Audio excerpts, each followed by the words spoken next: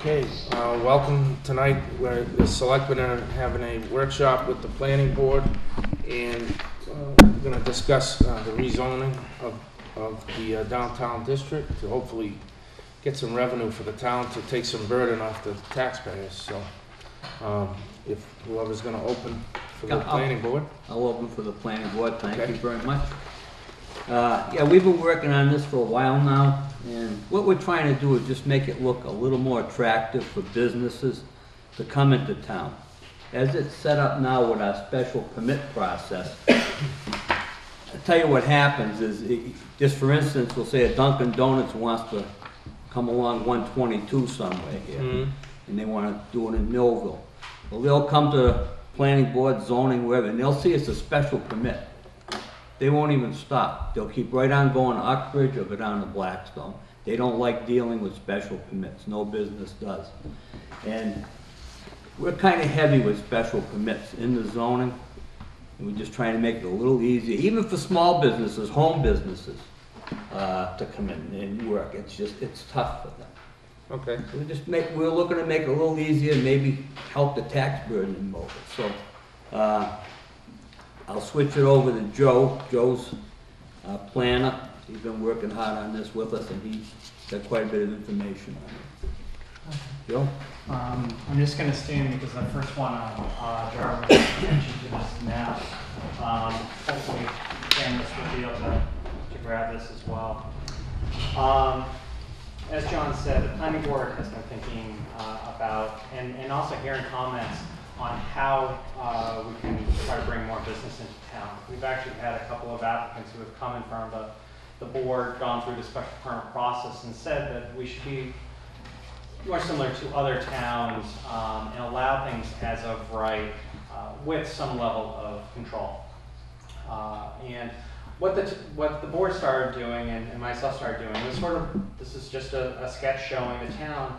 Um, the colored lots are town-owned parcels, but we were trying to just uh, come up with an approach as far as where we want to direct some development. Um, this isn't a new idea. Back in ninety-six, the town had uh, gone through a master planning process. It identified the principal area for higher density being the village center with more uh, lesser density area uh, development occurring as you head away from the village center. However, from ninety-six to now two thousand fourteen, um, there hasn't really been a significant amount of growth that has challenged that approach for the town. In fact, um, our review of the master plan from ninety-six, really a lot of the recommendations still were valid. And as we were going through, we're trying to update the master plan to bring it up to, uh, uh, two thousand and uh, fourteen numbers. We sort of realized there's some initiatives that were called for back then that we should really bring in advance of, uh, bringing forward a more complete master plan. And that really identified allowing for some commercial development on Lincoln Street, and then, uh, I mean, sorry, on, uh, on Main Street, on both ends, more in the village center with Main Street and Central, uh, so that we can preserve more of the outlying land. Uh, If some of you may recall attending town meeting a couple years ago, we came forward with uh, an article for allowing renewable energy on two town parcels. One right here and one over here um, on the landfill. As part of that process, we actually adopted a site plan review bylaw as well. The site plan review bylaw was required by the state for the Green Communities uh, program for renewable energy uh, facilities to go through, they called it expedited, but it's still 180 days. You're still dealing with a lengthy process. But the important thing was that it was called site plan review, not special permit, because the use was allowed, provided the town could go through uh, a review of the site plan on, on how that project would appear on the lot, go through drainage, look at uh, the amount of land cleared, look at access, look at safety. Um, that site plan bylaw, which, uh, which the board created and town meeting adopted, is really one of the pieces that, as we discuss this rezoning effort, is already established because it means it's just one less bylaw we have to approve, approve.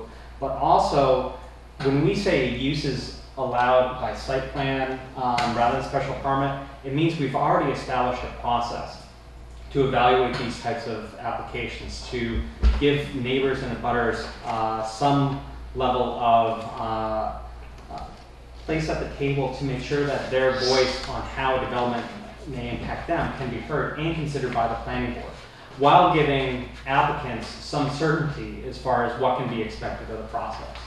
So just to sort of go through, um, what you have here is a handout that basically just has bullet items for what the board is trying to do, uh, and then also a, a proposed map on the back. And you'll see that this basically mirrors what we had discussed, um, basically six, seven months ago, uh, as a board. What's proposed is a village center business district where higher density mixed use development would be encouraged within the center part of the, the town, off to the sides along Main Street, and then uh, down closer to the Rhode Island line would be a highway business district, roadside business district, that would have more traditional commercial development. As John said, every single use that is not residential in town requires a special permit. Under this proposed rezoning, and then also you'll have a copy of the use table, um, You'll see a lot of the SPs have been changed to P, uh, to Ps, which means site plan approval is required. How that works is that for these districts, those uses that are identified as a P would go through the site plan review. There's specific regulations the board adopted that deal with the application submission materials, stormwater, drainage, if applicable, traffic, um, uh, health and safety, rubbish removal, landscaping, a lot of aspects that uh, the board typically deals with special permit, but what's different between both processes is that special permit has a level of, uh, of additional discretion by the board. Uh, and what that means is that someone coming in, the board can evaluate those two projects differently. For some uses, it is important to maintain that special permit uh, category. And you'll see through the proposed list, there are still some SP, special permits, in the uh, Village Center Business District and Highway Business. Those are the columns up on the right. Because those are uses that the board feels we need to maintain some level of uh, discretion to go beyond just looking at stormwater and landscaping plans and civil engineering plans. Um, but the, the ones that, and John identified a perfect example, retail.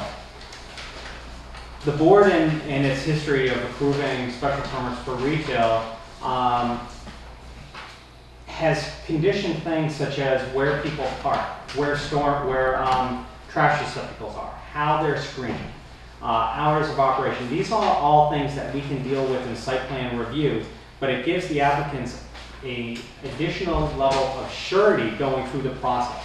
And that's what we're trying to do is, is put ourselves on more of a common foundation when we are comparing ourselves to Mendon, Oxford, Blackstone, even uh, Milford. To make sure that businesses know, here's a clear, concise process we can expect through, through Millville without having an additional layer that um, from year to year, project to project, could be an unknown. Um, the article itself for town meeting is very simple. It's amending the use table and creation of the districts and adoption of a new map.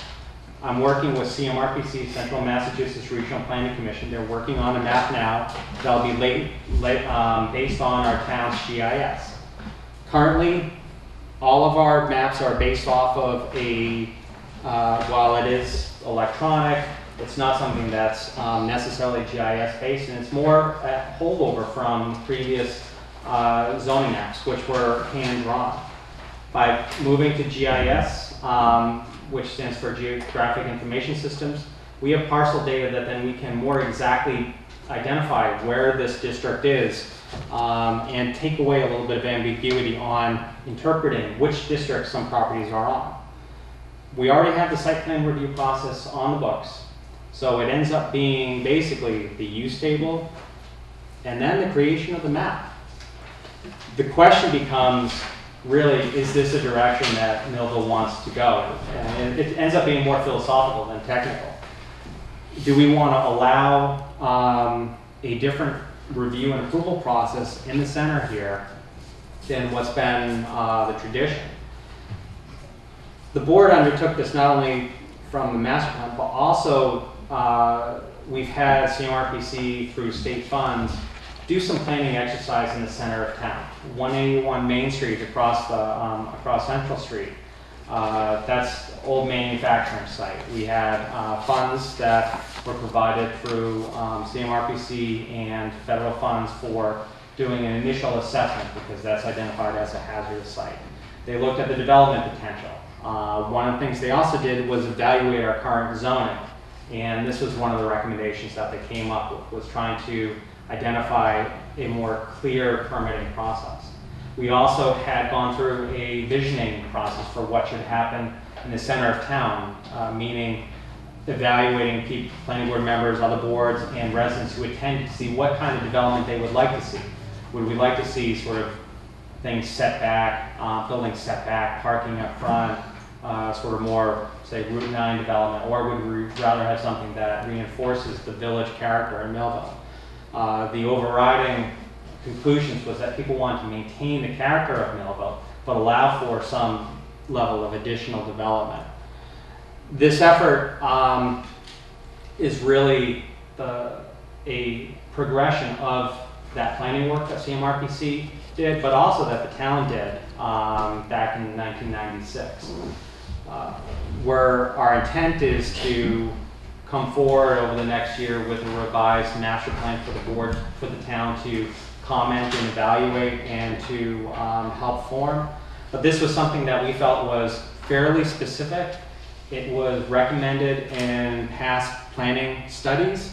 And that I think people could understand this a little bit more as far as um, this could have a impact on development in Millville and more importantly on the revenue, which is, is really, uh, the budget for the town is really on the shoulders of the residents. And the board has made it a priority trying to look at how we can relieve that burden and to allow for a higher diversity of uses in town. Um, like I said, it's not a complex uh, proposal, it's more philosophical, and the purpose of this is to basically receive some public input um, so that we can uh, take it in, into consideration as we prepare a formal article. Uh, even more specifically, this, this use table. If anyone has any thoughts on what they should be, uh, a yes meaning, as of right meaning, you can just go and apply for a building permit.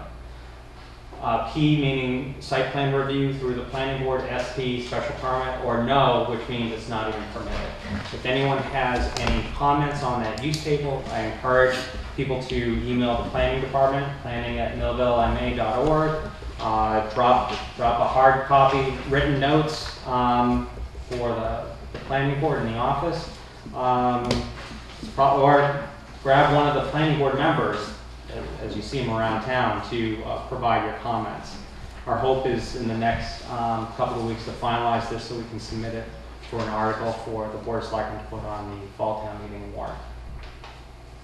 So, I'd like to open up for, for any questions or, or any comments people have. I- And I'm, I'm totally um, in favor of, of this whole plan, so I, and I don't really have any comments or questions on it, other, you know, other than, uh, you know, I'm happy it's, it's gonna happen, because a lot of people in, in town do need that um, relief in their taxes. and- And with inflation going the way it is, and social security not moving, you know, it's, it's a big burden, so that's, to me, this is what makes this so important, so.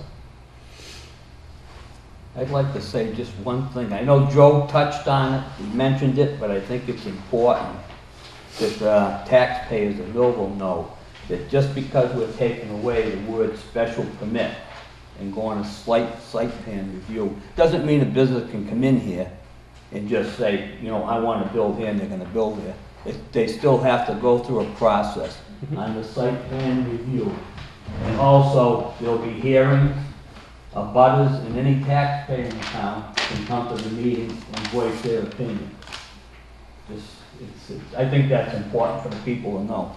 You just can't, we're not just allowing people to come in and build, put in a business. We want business, but we want it done right. Right. No, understood. I don't know, any, anybody else mm, have any comments, questions, concerns?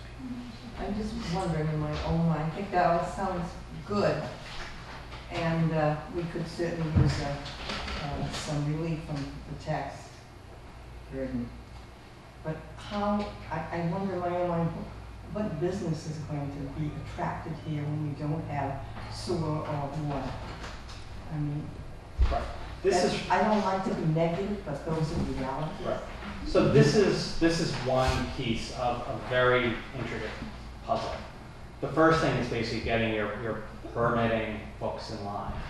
Um, the second piece is really what we're working on, uh, now is the master plan process, because with state funds, how they've sort of, uh, dried up over the, over the years, um, the state and the various agencies that oversee, um, like infrastructure improvements, uh, have, it's become so competitive that they really want to know how a project is going to fit specifically within a govern, a, given plan.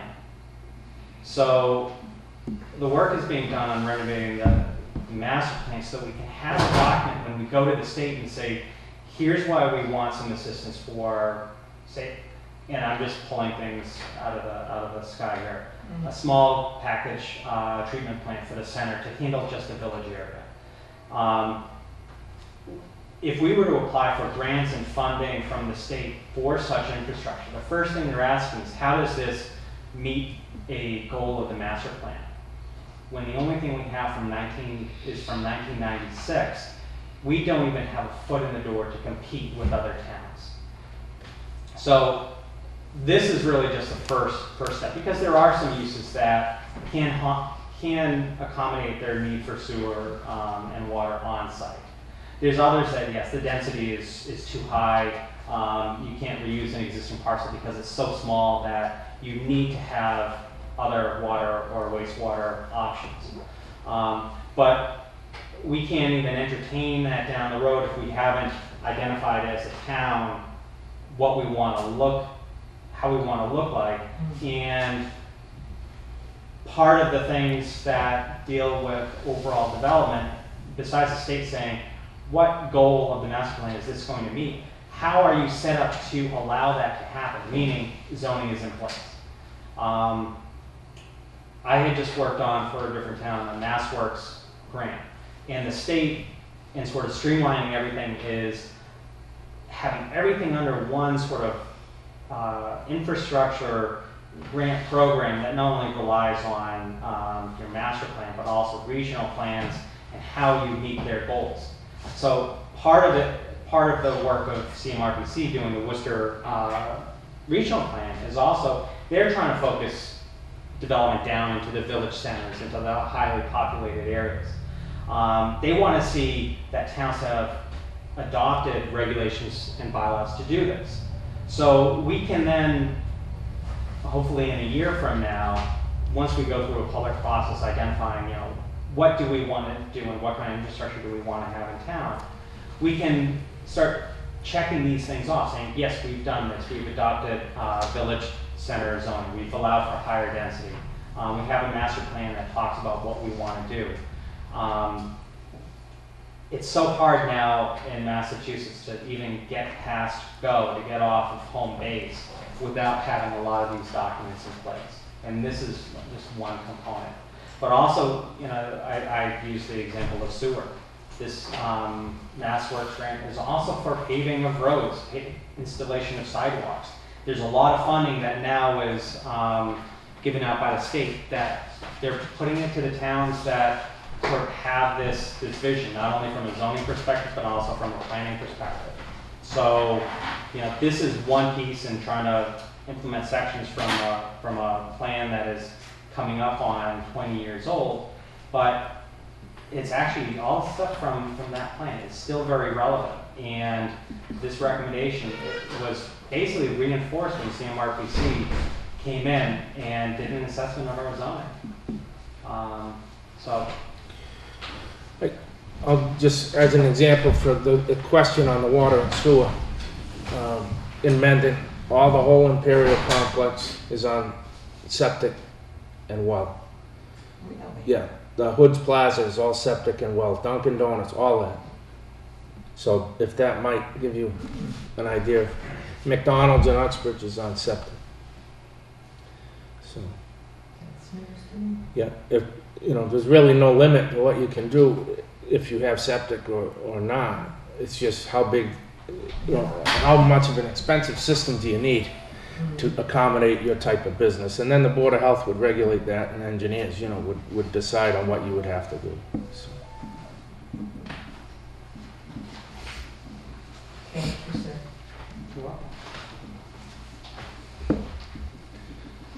Thank you, sir. But there was a couple other hands in. Yeah, right, No, all the way against the wall. Yeah, how you doing? Um, I guess what you said earlier about, you kind of compared us to the, o- the other towns like Blackstone, Mendon, and Uxbridge, and even West Smithfield.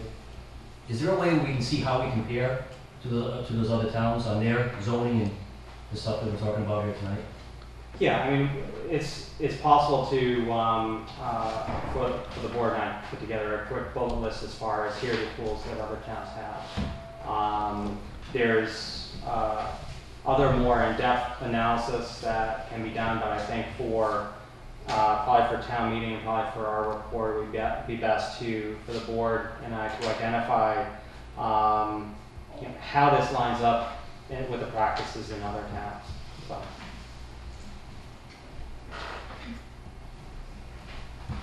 I mean, I've said this a hundred times already in the past, but if you took a ride from Pawtucket where one twenty-two starts and all the way out to Paxton, Mass, um, other than some wetland areas, Millville's about the only spot that has no business at all on one twenty-two, and we're really missing the boat. We're like the missing link in this, and we're missing a lot of revenue because of that, and because of that, a lot of people, um, have had to move out of town because they can't afford the taxes and go elsewhere where there's more services that, that can provide them with their needs and, and so on and so forth. And, and other, you know, and people that have lived there here their whole lives, you know, have to do reverse mortgages in order to stay in their homes and, know, so hopefully this is a step towards, um, lessening that burden for people. And also, just an example, um, Anis and Anis, and I think it was sold, and I may not be aware of the new name now. George's, Okay, Yeah. uh, but that was, that was a special permit use, and, um, the board has given numerous special permits for each, uh, re- revival of that, of that use, um, when sort of the history of the property, um, that's been something that's been used that way. So it also has an impact for the owners coming in, knowing that um, even though this may have been used as a convenience store for the last 15, 20 years, they still have to come in, and get a special permit, which uh, may or may not be granted for X, Y, or Z reasons. Um, by going to site plan and having standards laid out in the zoning bylaw, we can more specifically say, you know what, as long as you, you stay within the confines of the zoning bylaw, um, have the right parking, have the right, uh, loading, right Board of Health and approvals, um, you know, you don't have to worry about a special permit being taken away, um, because maybe, uh, some things outside your control have happened. That's, that's the kind of certainty that we're trying to, uh, instill on some of the projects. Uh, it doesn't prevent the town from enforcing the zoning bylaw by any means, um, because also special permit decisions can be written fairly vaguely, and we have some that maybe don't provide the clarity that they should, because if we're dealing with special permits that were approved twenty years ago that are still enforced. Um, so, moving to site plan does not, as, as John said, take away our ability to review, nor does it take our way, our ability to enforce standards as well, so, so that people can know that it's not like we're just saying all these things are now approved, uh, so that you know, non-compliance can still be dealt with. Yes. Yes, uh, you got the lower end of uh, Central Street, uh, this route, the cemetery area, I believe that's visible. Yeah. Uh, what's the outlook for that section of Central Street to be sidewalks and uh, do something about the condition of the road? Because of the, the traffic is very heavy Mm-hmm. from Rhode Island over. And there's been a couple of uh, accidents up there at intersection of Providence and Central Street. Uh, What's gonna happen at, as far as the town goes? Does that come under chapter one forty or does the town have to put the tab on that soon? Well, I, I believe, I believe, I'm not hundred percent correct on this, Joe might be able to correct me, but a lot of instances in some certain, uh, cities and towns, when a business decides they're gonna come in and, you know, open, open shop in, in a certain section, um, if they're gonna create an amount, a certain amount of traffic, an increase in a certain amount of traffic, um, then they're made to widen the road and provide sidewalks for X amount of feet before and after the business. Um, stuff like that, uh, you know, we, we could put into our, um, our zoning changes, I believe, Joe, right? For Well, I mean, planning. some of that, if- if there's a direct connection as far as they're gonna create an unsafe situation, uh, Right. making- requiring making, uh, pedestrian improvements. I think more importantly, we're dealing with an existing condition and a problem that, that is annually increasing. And the bike, the bike, uh, trail when it comes through is not gonna make things any easier. If anything, it's going to, uh, attract more local users and they're gonna be coming down that sidewalk. Um, there are state programs that I think, you know, we'll be able to take advantage of to, to assist in, uh, doing some of those things. And, uh, this, this Mass Works application that I referred to, um, would be a perfect program. But again, it's, that's where the planning piece and why we're, we're working hard to try to have that in place so that we can start applying for some of these funds because, you know, this is gonna, this is gonna be, a it's a state and regional really because we're talking about Rhode Island resource that's coming into place. And, um, there's, uh, some existing needs that, you know, really we should be looking at assistance and partnering with the state to make sure that it's safe for everyone. And we want to encourage people to come down to the village center. We want to encourage them to come down to George's to, to get some drinks and snacks uh, from the bikeway. We want to make it easier. We don't want to make harder.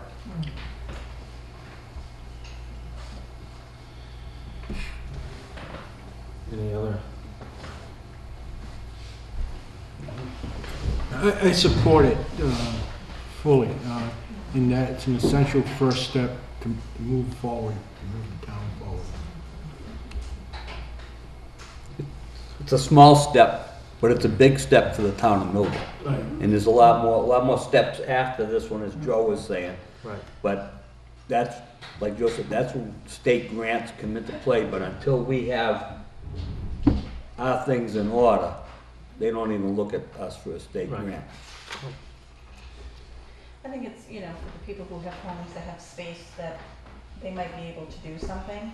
Like my grandfather had a store right there on Central Street. Right. So, I mean, I, I think it allows for the, the ease of that, even on the corner of West and, um, Central years back, they wanted to put a pizza shop in and they couldn't get it in because of the special permit from the neighborhoods and it probably would have been a decent location for something like that. So I think it's important that we, we have that and I, I do think we have to take the concerns, you know, for the areas when those bigger businesses come in as far as our roads, our roadways, especially in like, um, what do you have, Press, well, Preston has a sidewalk, but Lincoln Street area. Lincoln yeah. area, you know, we've gotta make sure, and working with the highway surveyor and finding out, um, you know, if we can use chapter ninety funds, or if a strap, you know, grant comes through, you know, something out there for us, sorry, Tim, for us to, um, make him aware of that too, that that could be a possibility. I know the former highway surveyor tried to get the sidewalks extended from the end, um,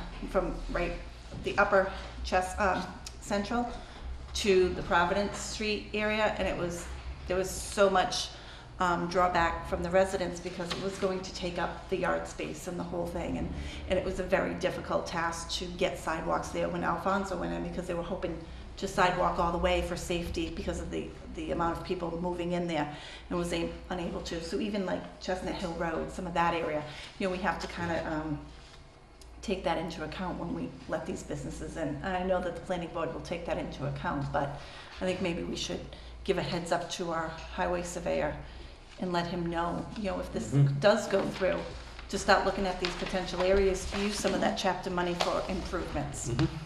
So I think, you know, giving him the heads up, you know, he might have two, two jobs that he's planning to use that money for. So there might be some shifting and creating, um, in his department to, to, you know, get this, get it safe, and not only safe, but appealing Right. to want to put your business there. Yeah. So, and I think it's our responsibility to keep it safe, because I, I mean, I live on Providence, so I know that that corner is, um, you know, a bit dangerous there, so. um, But no, I mean, I support it, I think it's gonna help those people along the way, you know, I mean, the outlying highway part, it's gonna bring more of a bigger type of businesses, It's a little different, but, um, Right. I think it's gonna be a good thing. Yeah, and that, and that's the, the Village Center Business District, um, will allow mixed use to get back for those that, that wanna use it. Um, the historic nature of Millville was shops and residences above. Uh, we have numerous examples where, uh, people, you know, not very old can remember things like that in town. And we want to create a, uh, a component of the bylaw that allowed that to come back, um, because it is so much, you know, the part of our history, and, and you look at the structures, and you know that was used as a shop or as a deli, or, or, um, and to allow for some of that history to come back. And, you know, we are very concentrated, uh, in, in the center of town here. Um, not all parcels are gonna allow to be really developed in a, in a, in a manner that, uh, you know, and, and I'm not advocating for Dunkin' Donuts, I'm just using it as an example, uh, to allow for Dunkin' Donuts to come into town. Um, but there may be some parcels that do allow for something that, that is larger in nature and square foot and, um, you know, the, the idea is to allow for that process and work with people to find where that may be fit and then to mitigate the impacts that may occur in the neighborhood. But right now, we can't even, um, even if there was a way of approaching someone to come into town and we describe our process, you know, it, it's too wrought with insurance, uh, uncertainty to really give an investor an idea that, okay, I can devote ten, twenty thousand dollars to preparing plans without even having a certainty on whether they get approval at the end. I mean, that's, that's what this is really about, to give people the certainty that if they go through this process, they address these concerns, they can have a reasonable expectation on what the end product is.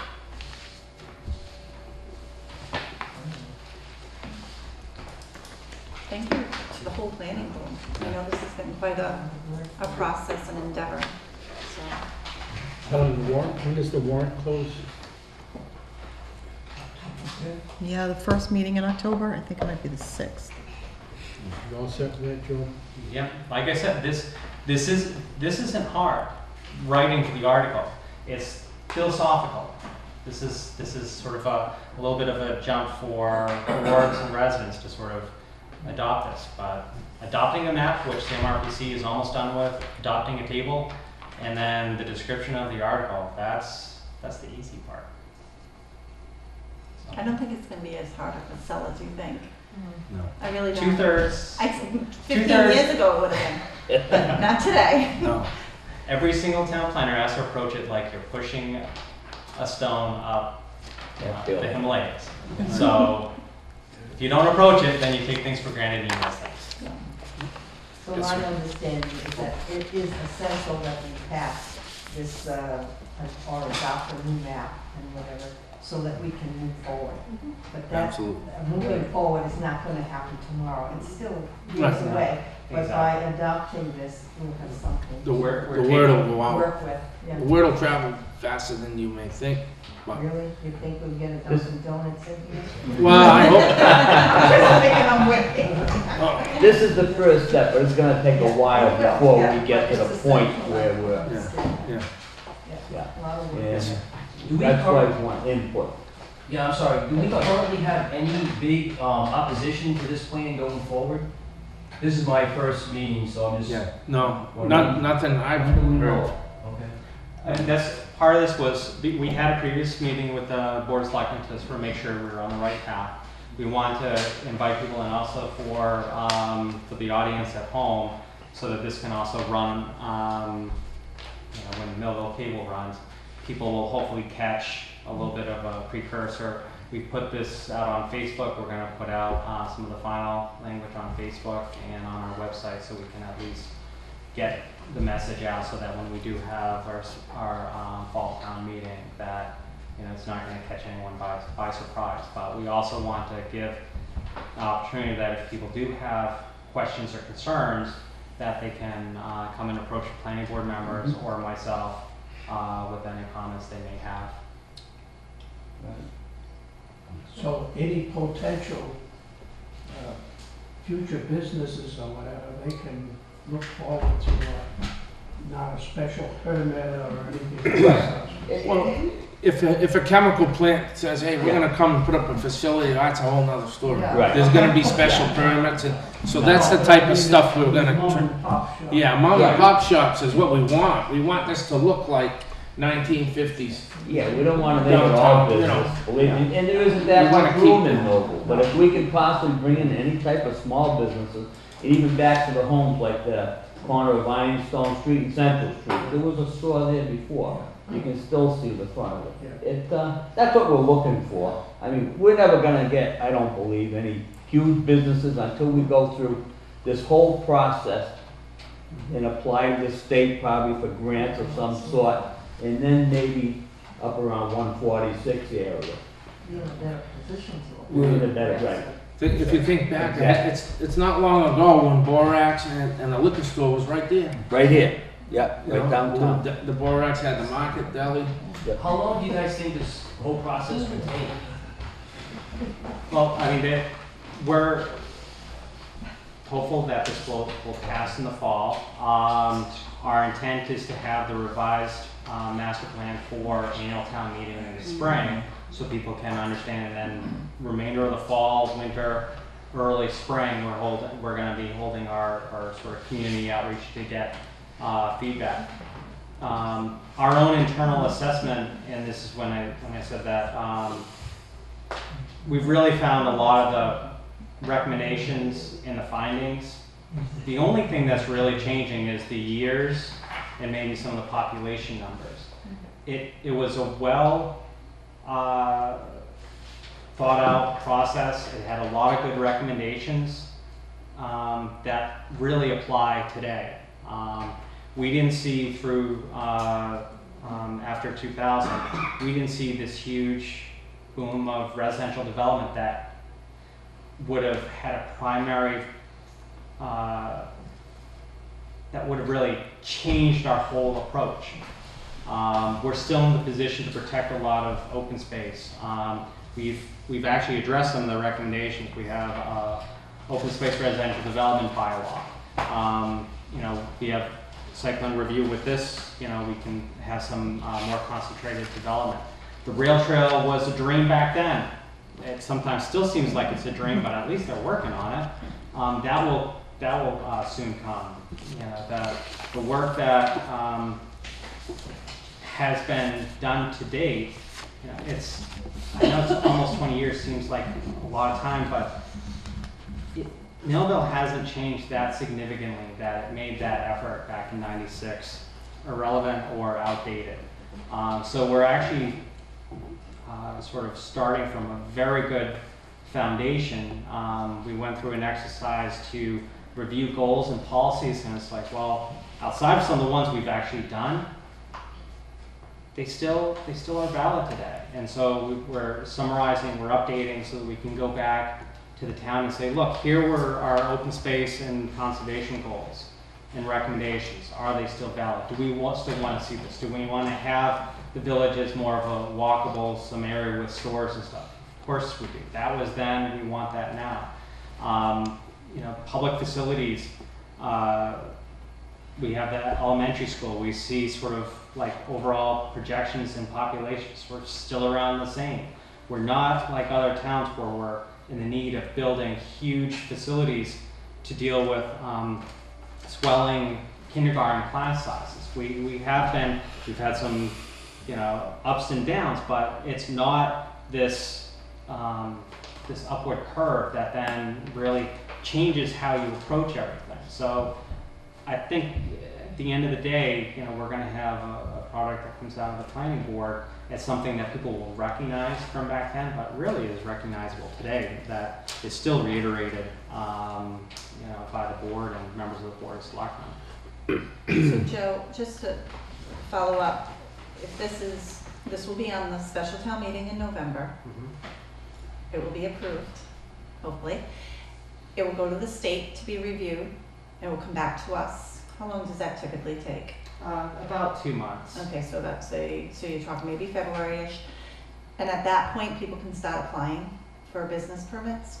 Uh, no, they can have, uh, you mean like, say approvals through the planning board for. Um, once town meeting acts on it, that bylaw, um, can be applied, like that's your guiding You document. don't have to wait for The the main state to thing come is back? that if there's areas that conflict, say with the old and the new, Mhm. You sort of have to watch out for that gray area because if the AG's office said, you know what, we reject this, Right, you revert back to the old. okay. For bylaws such as what we did the renewable energy, where it was very technical, it was very elaborate, that had more of a chance of, say, the AG's office turning it down. Um, anything that really sort of pushes out the envelope as far as zoning. Here, we're, we're literally just changing a map Yeah. and we're changing a use table to add uses that are consistent with what we've already done. We're actually addressing a legal point that if it hadn't been on the books for so long, no one would have picked it. If we want to change our zoning to require every non-residential use to be a special permit, the AG's office would turn that down. You have to allow very, some of those uses as um, either site plan approval or as of right. Right now, residential is the only thing that's allowed by right. So this actually addresses something that when I first came on board, I said, well, yeah, you could get in trouble if someone appealed, but know, no one necessarily is gonna appeal some of those because you wanna work with the town. So, but, you know, this does address, So once town meeting approves of it, you got residents or people can start to look into it and take advantage Exactly. of that? Okay. exactly.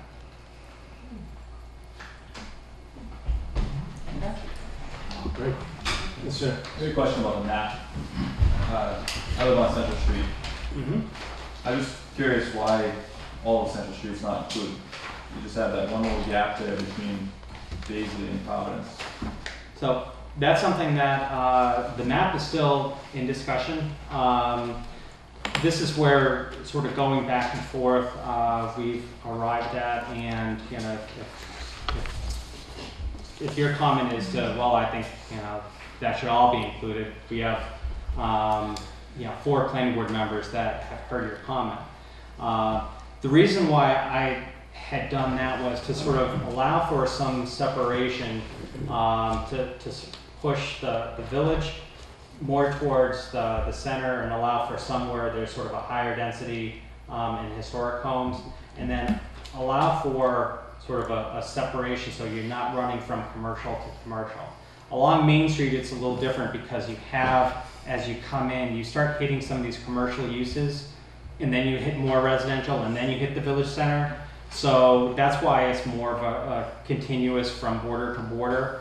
Um, I, I would say that, uh, the, along Central, that's still a discussion point that, um, should the board feel, you know what, let's just go, uh, all along, and that, that void is really not necessary, you know, that would be a decision for the board. As I look a little closer at that section that is circled in black, there's like looks like there's one blue hash mark in there. Is that the highway district in between, looks like Borough and Chesley? That's, I just want to go to the larger. Thank you. That might be a hint. I think it's just an ink thing. Yes, yeah. So you guys wanna make that uh, highway business district right there? No, so that little ink dot, um, this is where, why I'm working with CMRPC so they can do the mapping. So that an error in Microsoft Paint that I Just wanted to made doesn't all of a sudden become something we're stuck with forever. That's, that's just in there. I was trying to correct a, when I deleted the side of the road, I was trying to put it back and apparently it comes out blue rather than the gray I wanted. Right, with that being said then too, one last question. Looking at the blue and black and the differences on your use table, I looks like there's really only one difference, if- unless there's more explanation. The only difference I see is the cellar basement being used as dwelling between the village center and the highway business district. Through the whole chart, everything else is the the whole use table, except Actually- that one. The, and thank you for mentioning that because the, um, the main thing is that, um, along with the village center, there's gonna be more, um, uh, and, and this is what, this is sort of part of the process. There's gonna be more design guidelines and purposes that will go along with that, that bylaw. The, the, when we describe the, the, the districts, um, in the zoning bylaw, you, you provide, provide a little bit of, um, a descriptor as far as what the overall goal. And the goal for the, uh, for the Village Center Business District is going to be more of a, um, allowing for mixed use, uh, reflective of the village sort of design, um, density, pedestrian, uh, connections, and the highway is gonna be more of a traditional.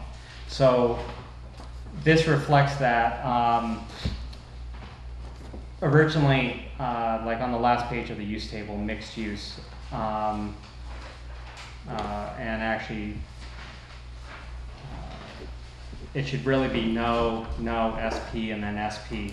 Um, village residential and village center should not have, uh, mixed use. Um,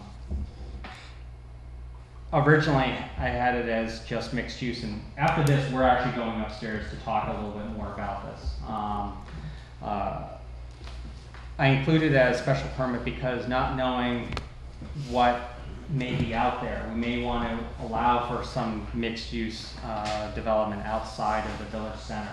Uh, But the uses are fairly similar, but it will come down to when we adopt regulations in that guidance documents uh, on how that starts splitting, and it really ends up being along the historic nature of the center uh, business district versus roadside, which would be more new construction.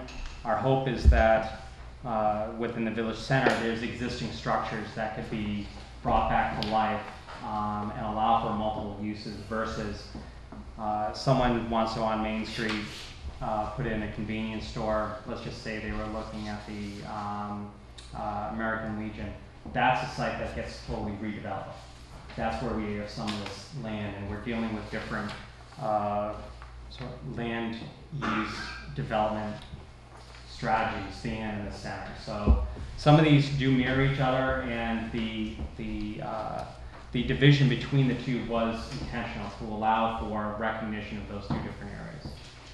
So there's nothing really put together yet as far as what's gonna be highway and what could be village? It's, this map will, but when we put together the, the final language for the article, there's gonna be the purpose statement for this district that will provide a little bit more of, um, a description, uh, for town Before meeting the, before the consideration. town meeting, whatever. Yep, that'll be part of the, uh, final submission for the warrant. Thank you. Just, I'd like to add something. If anybody's interested, like Joe said, our meeting we have upstairs after this meeting is our regular planning board meeting. Anyone who has any suggestions or changes they'd like to talk about, please come up and to our meeting and, or let us know, or let us know at one of our other meetings before this gets to a town meeting. We'll be glad to listen. And we will have to schedule a public hearing as well. Right. Um, so there's multiple, not only working meetings, but then also there's the, a public hearing that will be, uh, need to be scheduled as well, most likely the end of, um, October, so we have enough time to make changes if needed. Thank you. Okay, Anyone else? thank you. All right, thank you very much for coming. Thank you. You're welcome to stay for our seven o'clock meeting. Or not.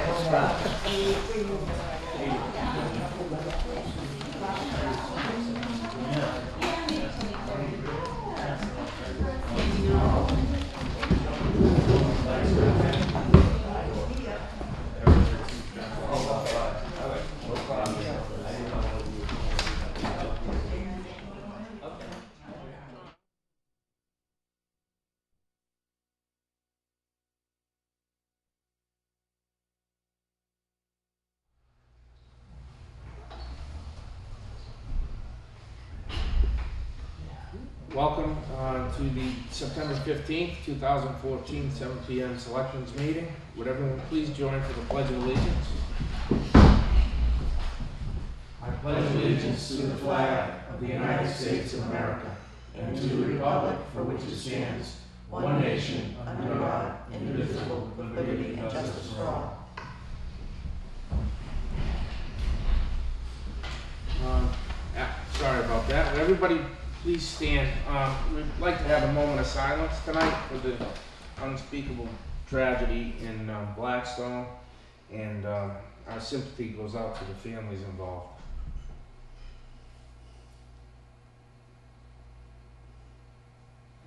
Okay, thank you. Um, Board of Selectmen would like to thank everybody and um, for showing interest Saturday at the senior band dedication and blessing ceremony. And a special thanks to Senator Moore and Representative Kuros for their attendance. Um, And also, uh, you can find the town of Millville on social media. How's about that? Uh, We're on Facebook and um, Twitter at Millville MA. That's it for announcements. Uh, Next, for scheduled guests and speakers, we have Superintendent Himmelberger. Um, So welcome, and come up and have a seat. This is uh, our new uh, superintendent for the BMR School District, and we're very um, honored and happy to have you here, sir. Thank you very much, Mr. Chairman. It's a pleasure to be invited, and uh, it's been, as you can imagine, a busy couple of months, uh, but uh, the year is off to a great start, and I I took the liberty of just putting down a few things on the, uh, that are topical right now that I could give the board an update if- if so desired. Okay, great, yes, please, thank you. Thanks. Um, As everybody knows, uh, we have the Millville Elementary School um, having its roof replaced, and that project um, just began. On the second page of the, of the handout, you can see the original project budget was $1.5 million, one million five hundred and thirty, five hundred and fifty-eight to be exact, and, and the town share is forty-two point two six, and the school building authority uh, reimburses the balance, uh, fifty-seven point seven four percent. The construction budget for the project was one million two hundred and sixty-six thousand four hundred and ninety-four dollars. Um, and my second day on the job, the bid was awarded, and um, actually the bid was opened. I'm sorry, and the low bid came in at nine hundred and sixty thousand, um, which is a good use of the um, the the bid process. There was also um, a bid alternate one, and that amount was forty thousand. And I understand there was some questions around that. Apparently, the architect had looked at, um, with their engineers, they had mechanical, electrical, plumbing engineers looking at the building. There were some rooftop units, both air handlers and air conditioners. Um, and the air conditioning units were uh, deemed to be really past useful life. And while the project was ongoing and while the roof was open, it seemed to make sense to um, replace them. And then there's, there's also the question of, I guess, two air handlers where the cores had just been um, totally beyond useful life. So that bid alternate one went out with the bid, um, and with the, with the intent that if the bid was low enough and under that construction budget amount, that it could be then used. Um, and apparently, from what I've been able to ascertain, MSBA will pick up or reimburse the town for the cost of taking the old out and repairing the roof, but they would not reimburse for the, um, the cost of the new and the installation. However, as you can see, we are currently in a very favorable position because we are under the construction budget by $266,494. Now, that's as of now because although it doesn't seem to be many, if any, change orders, projects always have a way of uh, getting credits and change orders as they, they go through the, the uh, amount of time it takes to complete. But as you can see, the town's share at 42.26 would then be reduced by that $112,620, which is very good news. So um, this project, um, the bid was opened on July 2nd. Uh, The contract was then awarded and signed to MDM um, roofers on July 24th. The uh, notice to proceed was issued on July 25th. The work did not begin until September 2nd. And apparently, given the materials needed to complete that project, um, the, the summertime is when every roof in America gets replaced on schools. And for that metal fascia that was needed around the, the edge of the roof, there's only a handful of companies and only one, I guess, that could, could make the delivery when it, uh, even to get it done for this summer uh, cycle. So that is why it didn't begin until September 2nd. Um, However, the weather has been uh, very, very positive, and that really does help the uh, contractor uh, make up some of the time that's built into that, that timeline. Um, It appears that the substantial completion should be on- on October 24th, with the project wrapping up November 7th. So if that, again, if the weather holds, then we look to be in pretty good shape. Um, And all things being equal, this should come in under budget, um, which is good news. Um, We did have a couple of glitches because as you can imagine, uh, the logistics of the roof project ongoing and then moving classrooms around as noise comes and goes throughout different parts of the building, as well as the storage of materials on site and the access that the contractors needed necessitated uh, rerouting um, much of the traffic flow both before and after school. Um, Everyone will, will know that there used to be uh, the ability to circle the school behind uh, to circumvent the buses, certainly in the afternoon. And um, so there was some, some concerns about how best to handle that. And, and uh, Chief Landry, who I've gotten to know pretty well in a short period of time, uh, came up last Tuesday, and he and I looked at the uh, dismissal time and how best to make the traffic flow with student safety, staff safety as the number one overriding concern. And so, um, the first couple of days of school, like any back to school, the, the children are a little unsure of how to and where to go. The staff also is trying to make sure that everyone is, is in the right spot.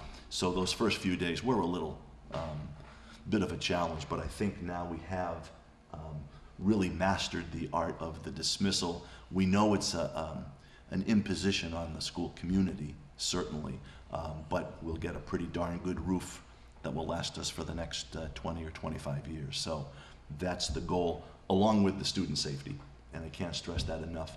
Um, just one point for anyone um, who is concerned about the dismissal, you can certainly park around in front of the buses um, as you circle beyond the school um, on the right-hand side, not in the parking lot, but you can line up along the fence And so for those folks who do need to pick up at the end of the day and are pressed for time, that's where I would suggest you park because then you're ahead of the buses. Okay. Um, although, um, as we looked and we timed it, and I believe Officer Shepard was also there to assist, um, as we timed it, the time really was at the time eight minutes to wait for all the buses to clear. And uh, last Tuesday, there was only five cars. So uh, we hope that that time is um, uh, reducing, so it's, the impact on families is as minimal as we can possibly make it. Um, And I'll probably get out there and look again uh, a couple of days this week to see how we're doing. So um, the safety issues, as I said, are really what governs the project as the, as they move around the building.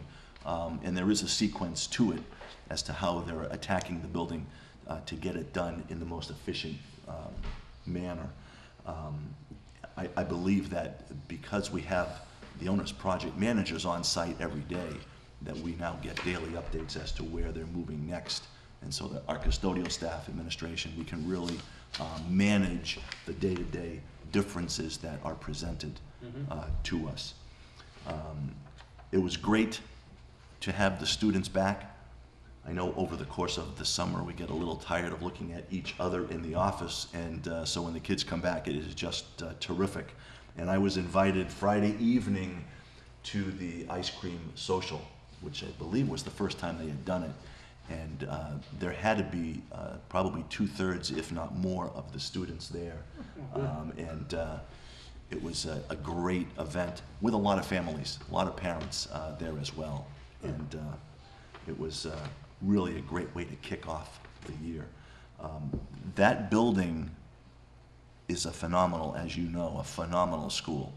Um, the physical structure in the plant has been maintained very well. And it's hard to imagine that that building's 22 years old. It really is a tribute to those folks that have maintained it over the years um, and the care that it gets from everybody who uses it. Um, it is a uh, fantastic uh, building. Um, can I just? Sure.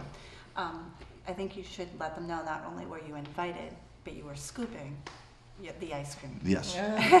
It wasn't, you were invited to, what- he, he was hard at work. I wasn't invited just to partake, right, right. Trigger wasn't it? Yeah. It was a setup, huh? I, I got diverted to the other side, but he was, he was scooping ice It cream for all was, of the students. it and was pretty parents. neat to be there and certainly to meet, um, you know, one of our retirees from, I guess, just this past year, Mrs. Smith, Oh, who was just Oh, yeah. phenomenal. I told her, I said, I feel like I'm in, in, with royalty, uh, being there with you. And 'cause she's a she was- Millville native. Yes, she was telling me. I'm sure she yeah, did. yeah. So I mean, it was just really a terrific event. Great way to kick off the year. Um, I also on no, item number three, I did get um, an email from uh, Robert Ferrari, who is uh, with Northeast uh, Water Solutions. Um, and he had sent me the email and also a follow-up from a memo that he had sent to Mass DEP.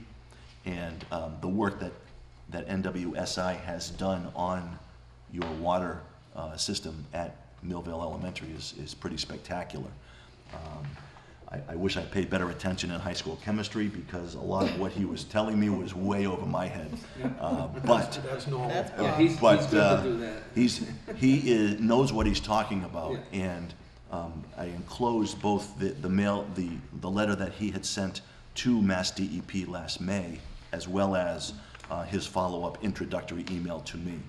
And um, I got a chance to meet with, with Mr. Ferrari and uh, Glenn Albee as well, who knows as much about that building as anybody with, the- when it comes to water.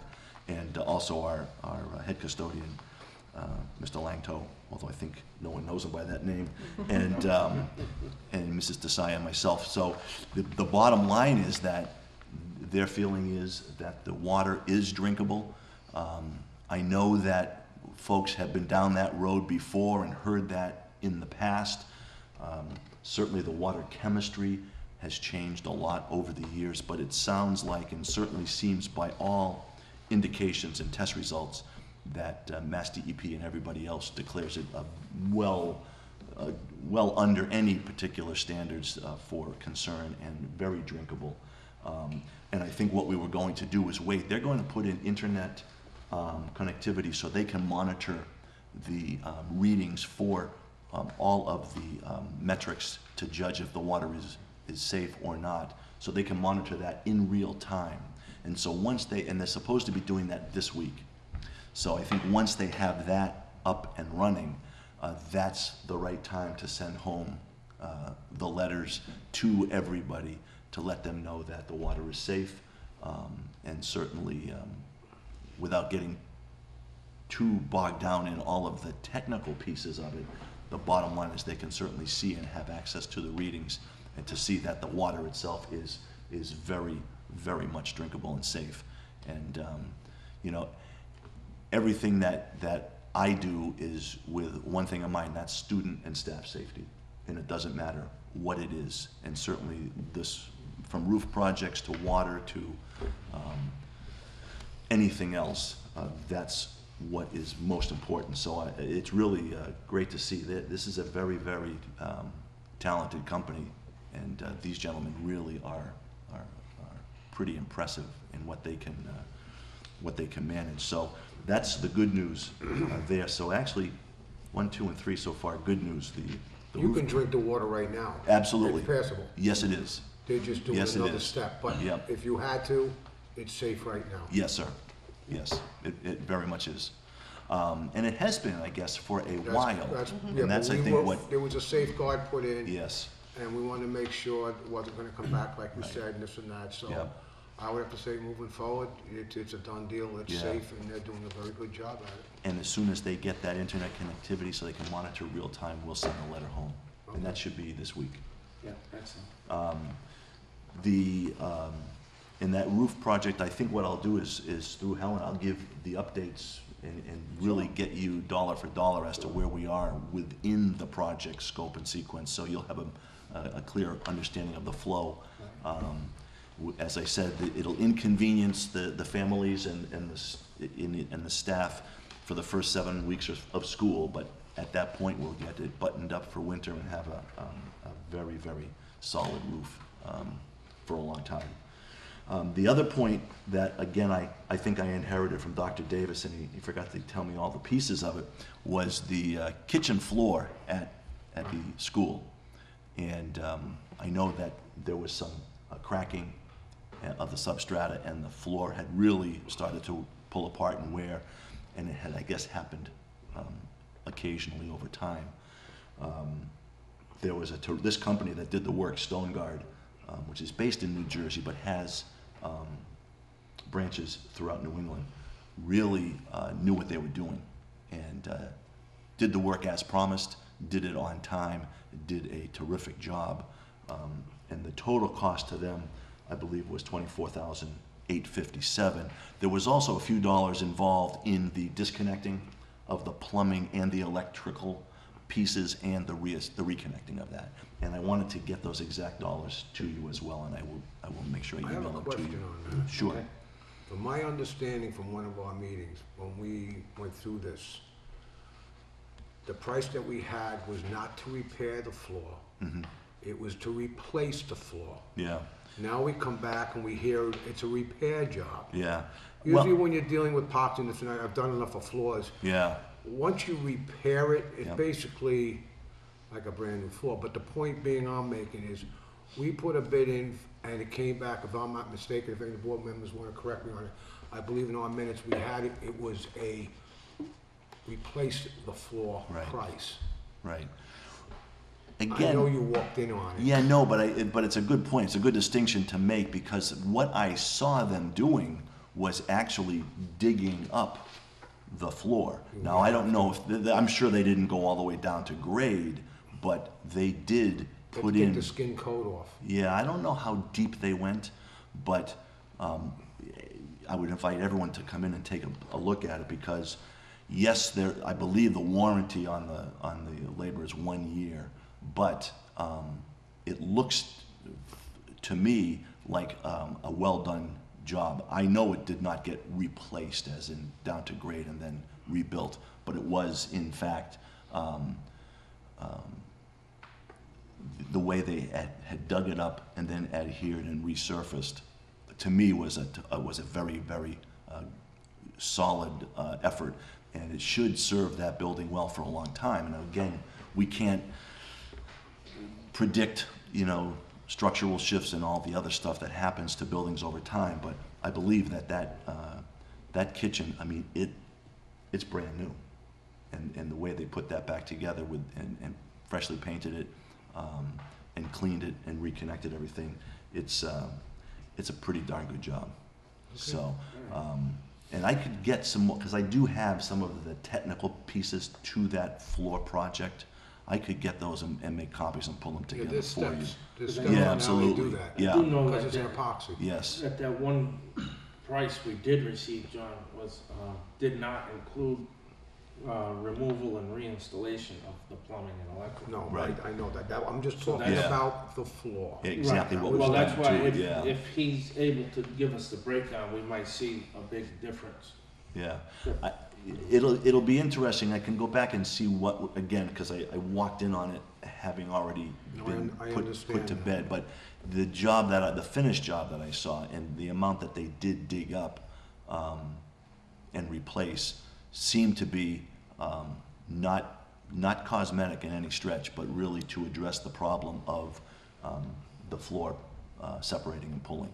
So, but I can, I can find the, um, the specs and the technical, um, material that goes with that. I think one of the important things we have to think about for the future is that that floor, the condition that it was in, that deteriorated over time. It wasn't a, you know, it happened last week and we looked at it and that thing had I been under- like that. I kept understand that. Cracking That's not and where- getting bigger and bigger. That's not where I was And- going with that. But hold on a second, I'll tell you where I'm going. Uh, Where I'm going is, we've got a, new- not new, but a a reconditioned floor, it looks like new, and I don't know if you guys have seen it, but it- it looks just like it's brand new. We need to be more proactive. If we see a crack, if we see damage, we need to take care of it at that point. Because if we let it sit for a year, two, five years, it ends up being a project like this. Right. Whereas if we can get ahead of it and, and make the minor repairs that need to be done, we could probably keep ourselves out of a lot of trouble. Well, that's where it comes to you people being the overseers in there, with your Mhm. custodians and this and that. Yep. There are ears and eyes. They need to feed back to you people, Absolutely. so you people feed back to us, because we don't walk in that building unless we, number one, we have a reason, or we wanna do an escort, or we wanna take a look around or this and that, but basically, we get most of our information from your uh, custodian engineers and Mhm. the Yep. teachers and Yep. the school committee. Yep. Unless you Agreed. tell us, Yeah. how would we know? But I would certainly welcome the board to uh, come on up and, and take a walkthrough and, because the, the entire building is, is very impressive in the amount of, of care that it gets, but the concern on the kitchen floor, I know, was, was real because it had happened before. And um, so I'll, I'll make sure I dig up the technical Like, since you're supports talking for that. about that, who's the overseer of the roof? Who makes the final decision, spending this kind of money, the taxpayers and everything like that? Who's the final person that inspects it and gives it its blessing? The state, or to the school committee and the state? Yeah, the, the rules of the engagement now with the school building authority is they uh, require us to have an owner's project manager that is qualified and certified by the school building authority, because they have a fair amount of dollars on the table as well, but also a commissioning agent that must sign off on it and has the ability to make sure that there, if there are changes that are necessary to the final product, that they, that they are taken care of. Typically, the commissioning agents are on site throughout the project. So we- We're going through that now at the high school. And so they're on site throughout the project to make sure that if there are uh, engineering issues, if there are construction issues, that they are taken care of and handled so that all of the um, uh, warranties are in place. And so there's a lot of um, checks and balances now with, with building projects that are, that are financed through the school building authority um, because of the, the amount of, um, in most cases, they're, for most buildings, that they have about 58% and the towns pick up the 42%, but it's still real money. And so the goal is to get the best quality, longest lasting, most efficient product without overspending. Well, there's a reason why I asked you that, no, Yeah. because I had people ask me, I didn't have the answers, you just gave the people the Mhm. answers. The second reason why I asked is because at Blackstone High School, when they put the roof down, it was told to us they had like eighteen leaks. There were certain, certain things that weren't in place that should have been in place. People weren't che- doing check and balance. On the previous installation or on the current project? Current one. Yeah, I haven't. This was said by yeah, the school committee, Yeah, At the high school or at the high school, complex? high school. yeah, I, that work began at the end of June. Um, we did have one leak. Um, I mean, that's, that's down the road, but I mean, Right, but I- moving forward with this new one with elementary school, Yep. which this town is responsible for Yep. as the building, I would, I just want to know where the check and balance is. Yeah, and, and I would, would respectfully come back to the board whenever the, the right time is to keep you updated as to where that project is. Um, but, but please do know that there's a commissioning agent that, um, will, will- has the final say. There is a- an owner's project manager that has to work hand in hand with the architect, um, to make sure that the contractor is doing exactly what the, the Specification. requirements and specs call for, absolutely. John, I Um, think that incident, and Brian, correct me, um, didn't Mrs. Shaver, didn't, um, Mrs. Shaver Hood do like a video from the rooftop and what they were, weren't they replacing something? It wasn't a It was a roof total- project, it When- was with, a, uh, Mr. Buckley, they were up there? yeah. That was Yes. when they were looking at the condition of the roof. That was after that. Did they bad do winter. some work because of the, the shoveling of the snow? The They insurance had And it's some- that, the yeah. insurance committee, I think that's when you're talking about the but leaks. Okay. said they're not The roof project just because it started. All right, well- I think that's the incident That's you're fine, talking I'm about, just- because Yeah. they I hired, just they have were concern shoveling. who Yeah. the check and balance is. Yeah. Yes. The current high school roof project is, is proceeding uh, pretty well. Again, uh, th- there was one leak that was because of the, they were, of where they were in the stoppage before that heavy rain. We've only had two really uh, rain dates all summer, um, which makes for That's a good lousy lawns, but quicker roof projects to get them completed. Um, But on the current, on the current projects, um, there is um, uh, tremendous oversight to, to ensure that that, Okay. I everything was is just- done properly. Um, But there were some at the complex too. There were some issues at the complex and they've gone back in. Yes. Because they don't get released until it's been thoroughly tested and. There's a big I think bond. it's Yeah. pretty good. Yeah, oh yeah, there is. Yeah. There is. There's money that, that is. There was held. actually, they did some additional work there because of the runoff. Um, they were finding that the snow was actually coming down in places that they didn't feel was safe, some of the, uh, entryways. Right. So actually put some rails in to divert some of that snow. And then, when we do have a lot of snow, it's, it piles up. Oh, yeah. It piles up away from the building, there's kind of a, probably a space a little bit bigger than the desk here that allows some room between the building and, and the snowbanks to pile up, but that's how that one is designed. But there were, I know there were leaking issues there, but those I think are pretty much Yeah. wrapped up. Yeah. Yes. I was just asking. Yep, no, it's, it's a question that um, is always on our mind as we, we have these project meetings uh, weekly to make sure that they are proceeding. uh, So we don't want rain, while we're working on it, but we want rain when they say they're done. We want a lot of rain to A lot of test it out right away, According absolutely. to the weather, Yeah. we're gonna have a good test this winter. Yeah. So, Yeah. Again, But I would, I would certainly offer to the board to come back Texas. um, as we go gonna have a through this, and maybe one or two more times. Big um, snow. and be happy to come back and report on the progress to make sure that we um, can address those Yeah. uh, issues. Oh, yeah, And, and the last thing I want to say is that, um, you know, I know that I'm the seventh superintendent in, in the past 11 years. Um, School committee was uh, gracious enough to give me a three-year contract, and I intend to fulfill that. Um, I spent nine years in Oxford and um, chaired the Medway, my hometown's school committee, um, and take the job as you do very seriously when you're in the public's trust. And um, I look forward to working with the town of Millville, with all of the elected officials. I look forward to uh, meeting with the community. And, um, you know, my, my door is always open. And I've said that. And uh, I even had parents come in and say, hey, I hear your door's open. Well, it- it is. And um, it has to be. So um, I look forward to a great year. And, and I put the students first. And every decision I make is with their best interests. And that usually means that parents, taxpayers, voters will also have their best interests met um, as well.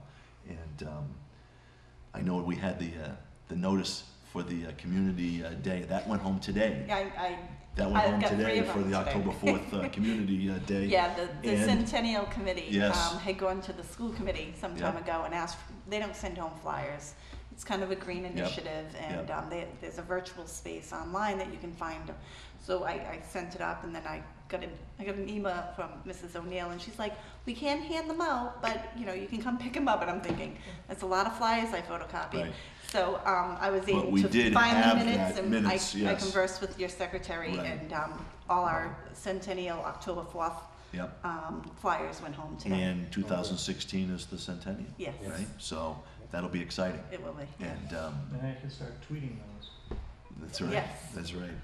Um, and, and the last is that I know that uh, Mr. Reposa had come to a school committee meeting in August to ask about support for a green repair, green energy, I'm sorry, um, initiative, and uh, would be happy to uh, support that.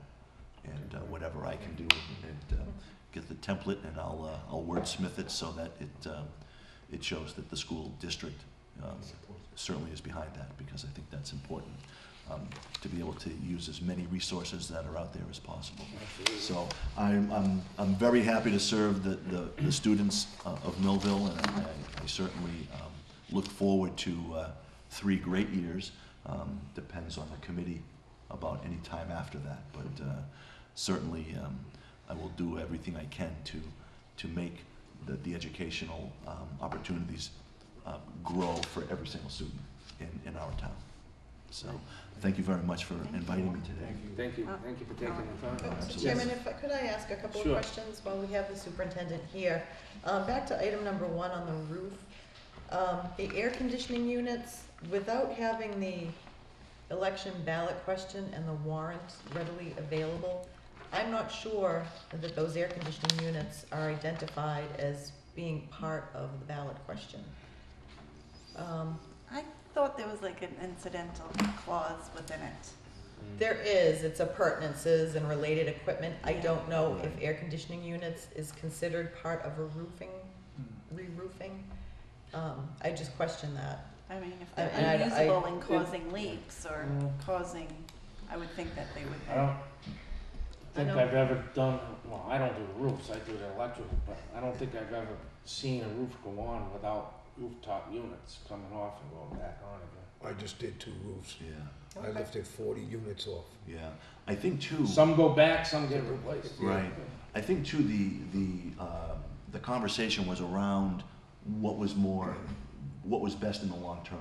And I know that the, the air conditioners, the, the air units were beyond useful life and deemed that they did have to be replaced. Now, certainly, we will, you know, continue to work with MSBA to see how much can be covered. But, um, you know, certainly with the bid coming in where it did, it, I think it makes sense. uh, Oh, absolutely, to- no to question. do it. I'm I just don't know what- concerned what- about the, yeah, the and I can language go in the back and article. look and see. Yeah, so we just wanna make sure that related equipment covers Right, HVAC. right. And related. Yeah, I'm and- sure and the as- state will tell us. if Yeah, and not. as it was Well, explained to town me, accountant will let us Yeah. know. Oh, yeah. who I know, it turns out. Yes, yes, that's right. um, Mrs. Matthews, Oh, so. So, yeah, I just wanted to, to point that out. Yeah. And my second Let me double question, check. um, with respect to the floor, Yep. did that, um, vendor happen to predict a useful life, um, to that repair job, just for capital planning purposes? I was going to try and reach him this afternoon for that exact question Okay. in terms of um, what the expectation could be, um, and I got on something else. Okay, So- yeah, at some point, But I that know is a our question capital that I'd planning like to will- know so I can, you know, plan for that going forward. Right. And I think that that is important.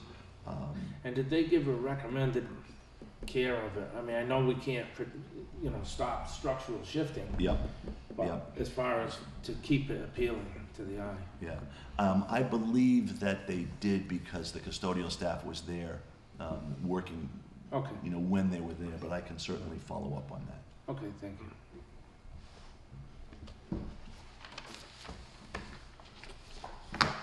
Absolutely. Thank Absolutely. you. Well, thank you. Thank you. All right, Thank you very much. for Good to meet you all and uh, look forward to uh, a busy three years. Absolutely. Thank you. Thank you. And I'd be happy to come back uh, whenever the board would would require, request any further information, especially on this roof project as it goes through Mhm. um, the fall. So- And I think also, I'm sure Brian or your committee has informed you, you know, as budget season starts, um, we were a little caught off guard last year, and, um, it, it was, it was not always pleasant. Yeah. So I think just keeping that, um, dialogue open and, and We're not gonna have a budget season, we're gonna have perpetual budget. No, we're not gonna do that. Yeah, but I, I I think Yeah, that's important. I think you're right, you know, and I know that budgets have a way of bringing out the best and the worst in us, and I think that the one way to be is to partner with the town and the committee. You know, my job is certainly uh, to advocate for a budget, but a budget that is realistic, Mhm. um, and has to be for everybody. Um, and I'd rather hear the truth even if it hurts. Yep, I'd rather um, be told than Yep, and that, to, for, to read between the lines. Yeah, so no, I I'm think gonna, that's important. you're gonna find I'm pretty direct in my communication, uh, early and often, and it's gonna be based in fact, and it's not going to be, um, pie in the sky. And, uh, Oh, that's different. yeah, it's gonna be, uh, direct. Uh, I was a business manager for four years, um, uh, and budgets, so, especially in public education, sometimes get misunderstood. But at the end of the day, they should be able to be explained in, in, in layman's terms so that folks know where the dollars that are being requested are supposed to be going. And uh, that's important. So that will be uh, a promise from me that, that, that the numbers will be backed up with appropriate documentation, that they will be, you know, certainly lots of conversation with the committee, with the school committee, before we come to where the, the plans will take us. But at the end of it all, the more everyone knows about it, you don't have to agree with it, and you might not want to support it, but you'll know that they're real and they're based on fact. And, um, you know, the ongoing dialogue is important. And I think that that's the most important thing. And I know that just from the superintendent's office, it's important to build trust and, and credibility. And, and again, not everyone needs to agree with me, but they certainly should be comfortable knowing how to get an answer um, from me. And I think that's certainly something that I, I pride myself on doing. So, Excellent. Thank yeah, you. look forward to uh, I seeing think the other thing, soon. the thing we need to do as a school committee too is to come here and meet with you guys. I think the, the, you know, saying that you guys are always invited to our meetings and you don't show up except for Joe, thanks. And You used to once in a while, but we haven't seen you in a little while, come on back. We'd love to have. But I think it's. Brian, Brian, I'd like to be there, but I'm at Girl Scouts, so Bring Girl Scouts I, in this I'd ra- I'd rather be But I there. think it's fair for us to, to, the same expectation that we have for you guys to come visit us, you should expect from us to come here, and I think that's where we haven't fulfilled that obligation. So- There was, there was talk about having a school committee meeting at the elementary school. at one Sure. point. Yeah, yeah, actually, there, there's discussions, there's, we've broken out some different teams, one of them being facilities, and we're gonna be working on some things to tighten up the facilities for those things that you brought up earlier. Um, and just to have that, kind of that planning forward, you know, things that are aging, you know, things are getting over twenty years old Yeah. in, in Millville, twenty-two years old. Yeah. Things are gonna go, you know? Yeah. Um, so we have to start planning for those and then getting you guys that information, but I think, um, you know, some of the discussion on the meetings themselves are talking about having some meetings here, having some meetings at the school, um, bringing the show on the road a little bit, you know, Yeah. it's great to be at the, at the height, at the middle school every day, every time, but Is the live broadcast ready at the elementary? Yes, Do we have all our equipment? we have all our equipment. Yeah, So- that was one of the, the holdbacks, So we that's, can- that's been. Well, it's we can live to do- Millville. Live to Millville, right, I mean, Yeah, but we that's the still same- have to, Blackstone's had alive. but we can share a DVD with Yeah, they them. could get it Yeah. next day. One day Yeah. we'll all be Comcast anyway. Yeah. Eventually, Well, they'll- that's been in discussions for a long time, Charter and Comcast, that's, from everything, Yeah, the federal government's kinda yeah. working it, because So, oh, so. it's gonna be a monopoly if they don't. So, yeah. All right, Well, Thank you. Thank you, John. thank you. Thanks. Thanks, have a good night. I'm just gonna grab a water. Do you want one? Okay, so so next on the agenda, we have approval of minutes and warrants. We'll wait till Jennifer comes back for the minutes. So Helen, would you like to read the warrants? Uh, we have no warrants. this Okay, evening. we don't have warrants, so. Okay, so Jennifer, we're gonna uh, look for approval for September second meet, uh, meeting minutes at seven P M.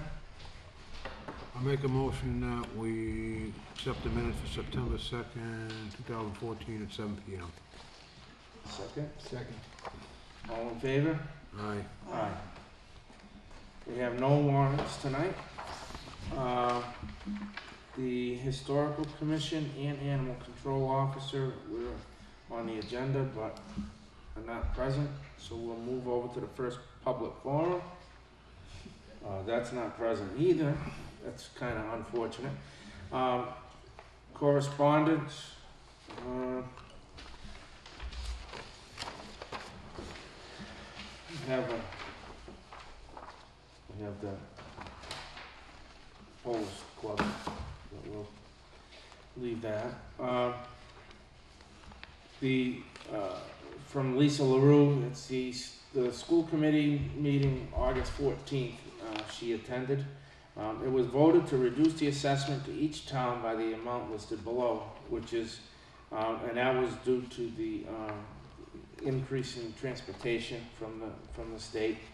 And, um, uh, Blackstone will be, uh, receiving back, well, not receiving back, but their assessment will go down hundred and sixteen thousand, one hundred and five dollars. Millville will go down 45,917, And the second quarter assessment will be reduced pending the certification of E and D. So that's some good news. Uh, Other correspondence, uh, we did meet at Valley Tech last week, the selectmen. Uh, Some of us were able to attend. Um, So the um, science lab, I mean, the engineering lab that they were trying to, uh, that we asked them to, you know, when we lost some kids to, to Tri-County vote, and it's a very expensive burden to the town, um, we asked the superintendent if there's anything, you know, we could do to stop the kids from leaving, and there wasn't. His answer was to create another engineering shop. Uh, As everybody knows, there was a ballot question, and it failed in, in more than two-thirds of the towns, so he couldn't open all three. So, but he, they, the school did have the monies available to go forward with, with the engineering, which was the particular one that Millville had asked for, so. Um, thank you to Blackstone Valley Tech for their, um, uh, help with this matter, and it is going forward. So, Joe, did you have I said it failed in four towns. four times, yeah, so. you know, You gotta have Four or three. three or less disapprove, but we had four disapprove, so. um, But anyway, so that, it's going forward, there are kids exploring that, that shop now, and it is scheduled to be fully functional um, after the Christmas break, when they go back um, to school, so. uh, Anyway, so, but upon our invitation for a celebration, it was a setup. They had paint rollers and paint waiting for us to start painting. So, so we did. But it was fun. Very, very impressed with, with the work done uh, by volunteers, and and so thank you to Valley Tech and uh, Jerry Finn also. So, and that's it for correspondence that I have. Mr. Chairman, Yes. I just want to note that uh, piece, that correspondence on Yep. uh, the MMA uh, breakfast meeting. I just informed the board that I signed up for that for October third. Okay. They're all Fridays, huh? Oh, no. Yeah, I that was was- hoping for a, a weekend. Yeah, and CMRPC does the same thing. It's always a Friday morning breakfast. Be nice to take a Friday out of work, but nobody's gonna pay my bills either, so. Thanks for going to that, Joe. Okay, um, appointments and resignations, we have none tonight. Um, Helen, do you have a, I have nothing. nothing? Thank you. Thanks for that. So old business, we have the energy reduction plan. Sure. So Joe, it's all you. I'll make this quick. Uh, I think we filled you in on, uh, in the past, our status. Uh, Basically, uh, right now, my mission tonight is to ask for the board's support to, of the initiative to, uh, green, uh, community status for Millville. Uh, There, there are five requisite, uh, criteria that, uh, the committee has to satisfy. And all those pieces are put together, those five criterion. Um, And with an affirmative vote tonight, uh, we will create a, a document to uh, send to DOER tomorrow. It'll be a one, be probably a hundred pages of uh, information, all requested in, uh, the five criterion was, Joe mentioned the as-of-right siting. That is also applicable to uh, the Green Energy Initiative. Criterion two is expedited permitting, again, um, changes in bylaws and, and the like that have, have already been adopted by the town, as Joe indicated. The, the biggest piece of that was the energy, uh, uh, getting the, the data together for the energy, uh, use baseline, and uh, that took the longest time in developing the energy reduction plan. Um, in- In August of 2003, we approved uh, the uh, vehicle uh, efficient policy and uh, fu- fuel reduction, fuel efficient vehicle program. So we're, we're all clear there, and then finally the stretch code adoption, again, that was uh, approved uh, by town meeting on May fourteenth, two thousand and twelve.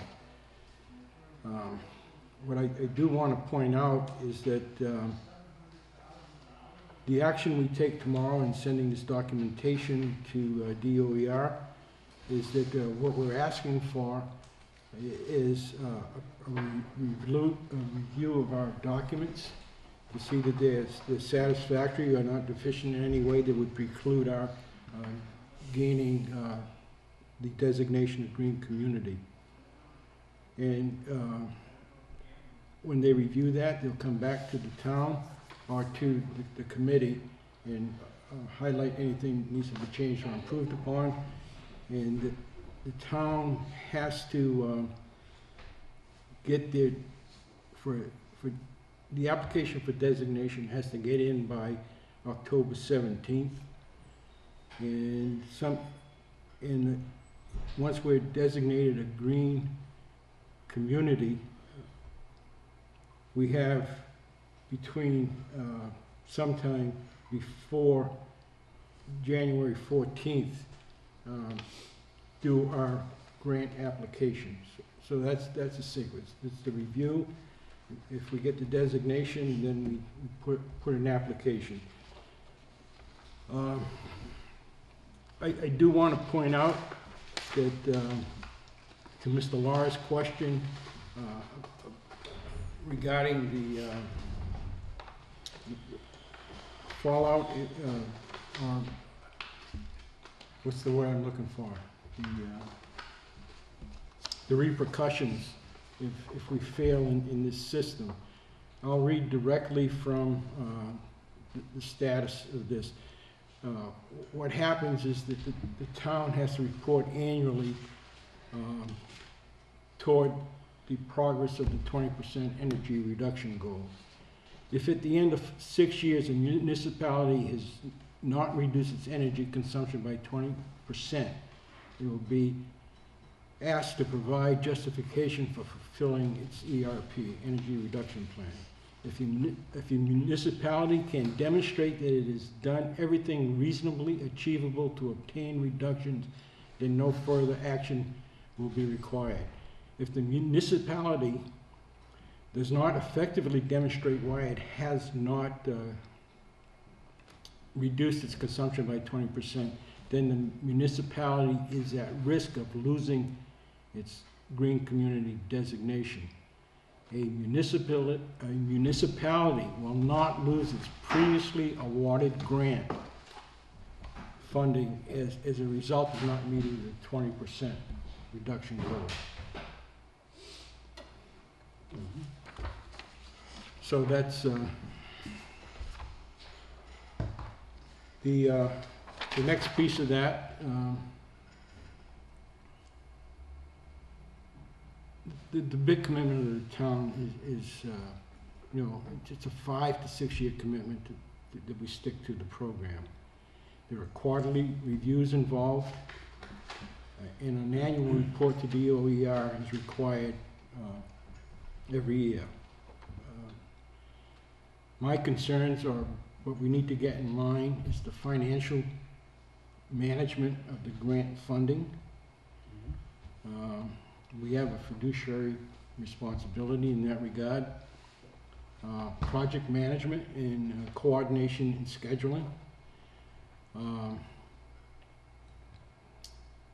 And then we have presently, well, our energy reduction plan has 20 projects on it. 18 of them are building related, two are uh, police fleet related. I split it up into two phases. The first phase, which is fully funded, has a payback accrued after five years of $135,000. Uh, it- it- It's it's a favorable return. The phase two portion of it is that we have, in this, in this period, we have to pursue competitive grants. The green energy uh, designation allows us to, uh, to participate in competitive grants. So we do- we'll have to be doing some grant writing in, in this period. Uh, But basically, that's it. Uh, Phase one will get us to sixty-four percent of our goal, and we can get there within two years, I believe. And then we'll have three years to do the other, for, you know, with competitive grants. Um, That's basically it. I'll entertain any, any further question. I don't have, I know, I think last week when Jerry, or last meeting, you and Jerry had talked, I think, you know, we covered a lot of it. yeah. You know, we're waiting for the draft, I mean, it's extensive, I mean, there was a lot of work put into it, so, no, I'm, I've been, And it's no cost to the town, it's just the paperwork to get the process It's, going. it's, it's the work and responsibility of the Right. town, and the mm-hmm. Board of Selectmen and the Green Energy Committee, you know, to Right. stick to it. no, it looks, looks good. Alrighty. So, The, uh, the final draft, uh, this is essentially the final draft, would be, it'll look a little bit, uh. Draft number seven, I noticed. Well, it's actually really nine. But, uh, most, most of the questions, uh, can be answered just by the, this- what, what you found in your packet. okay. All right, So, uh, I would respectfully request a vote by the board to support the Green Energy Initiative and, uh, have the, the Board of Selectmen, um, provide a letter to, to DOR, DOER on the board's support. all right, so you did all the work, well, you and your board, so if you wanna make the motion, make it I'll it. make the motion. Okay, And I will second that motion. all right. Thank you. All in favor? Aye. Aye. Aye. Okay, good I should say, Nobody- I should have voted present. Yeah. So, anyway, um, Thank you. excellent, Thank you, Joe. all right. Yeah, Mr. Chair, um, I take full responsibility. This, the next item on the agenda is the Yeah. police policies and Yeah. procedures. Mhm. And Chief Landry did call me this afternoon and say, is there anything I need to be there for tonight? And I told him no. Um, so that, That's all right. that's why he's Can- not can I here. say I this about completely that? missed it. We can, I've been, we I've still been got a few more pages to read. Yeah, I Okay, could so we're gonna dutifully table go that after that, okay? And I, I skimmed through all of them, and uh, offhand, I would approve them, but uh, with the proviso that there are a lot of redundancies in the policies, and it's a little bit confusing. Uh, You know, I like to see something more direct, so that if on a planned basis going forward, that we just, you know, go through and upgrade those things to make it simpler, okay? Yep. And take the redundancy out, because redundancy, there's the potential for conflict. You change one in one place, and True. All right, so you wanna put him on the agenda for October sixth? Sure. We just bought two weeks. Almost Two. three, right? Great, yeah. Thanks, Helen, that was good. Good job, Helen. And Thank it you. shortened tonight's meeting. All right, any new business, anyone? Uh, final public forum? Final public forum, anyone? Uh, all right, so our next regular meeting is Monday, October sixth, two thousand fourteen, at seven P M, right here at the Municipal Center. And no signatures tonight. motion to adjourn. Oh, we have minute, one, just a minute. sig- one, one signature. Oh, oh, That's it. that's right, all right. Then we'll look, and we have no executive session. They